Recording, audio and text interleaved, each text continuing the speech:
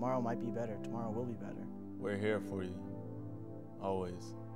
You can make it through this. You made it through that. You're worth more than you realize. Think about all the people that would have to go their entire lives missing you.